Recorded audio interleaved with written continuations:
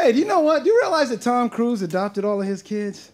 That's kind of cool. You know what I mean? It's cool that he did that for those kids, but it's kind of weird too for the kids. You know what I'm saying? Because in my mind, I picture an orphanage, and they just want to go home with, with a family.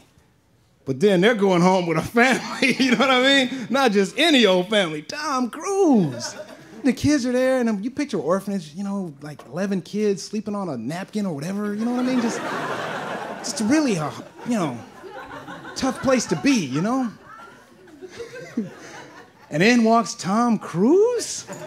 And then you know they know who he is, right? You know they're all like sitting up straight and wanting to get his attention. You know what I mean? He's walking by, looking at everybody. They're trying to impress him, you know, doing impressions. You want the truth? You can't handle the truth.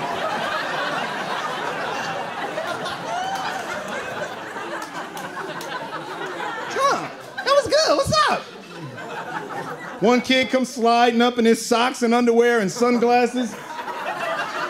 No, no, no, no, no, no, no, no.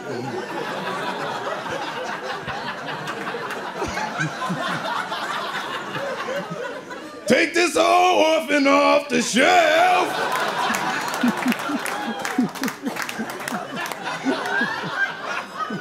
Don't wet my bed and keep my hands to myself.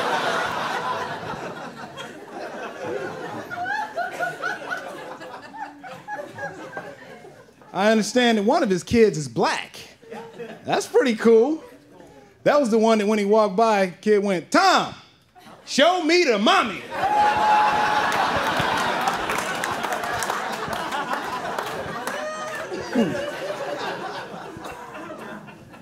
That's got to be something for you to be the one to get picked. You're leaving out of the orphanage, you're feeling pretty good, and it starts to really hit you that your little friends are there and you're leaving, and you're kind of like, so long, boys! Going with the top gun. Feel free to divvy up my porridge.